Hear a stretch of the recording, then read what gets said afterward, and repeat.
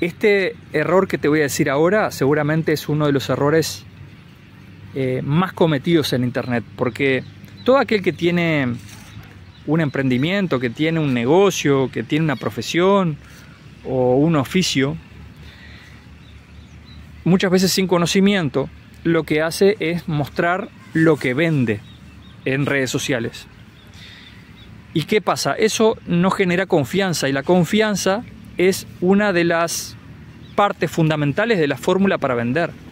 Si no tenés confianza para comprar algo, no tenés confianza en el productor, no tenés confianza en el producto, no sabes si te va a acompañar en el proceso una vez comprado ese producto y no tenés la confianza como para sacar la tarjeta y pagar, eh, no es un dato menor.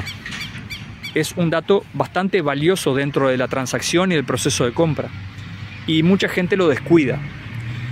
Y el error principal es pretender que con uno o dos contactos la persona ya eh, sienta la necesidad de comprarte algo. Y eso no es así. Está calculado que al menos siete contactos necesita la persona para eh, realmente evaluar si puede comprar un producto o no. En otro video hablamos de la importancia del email marketing. Bueno, el email marketing ayuda a, potenciar esto y a, acercar a la persona al proceso de compra. Pero claro, tenés que estar enviando emails, la persona te tiene que conocer y tiene que confiar en el producto y en el productor. Así que yo te diría que es uno de los errores principales que veo que, y que, sucede porque, porque no conocen el, proceso que tiene que atravesar el potencial cliente.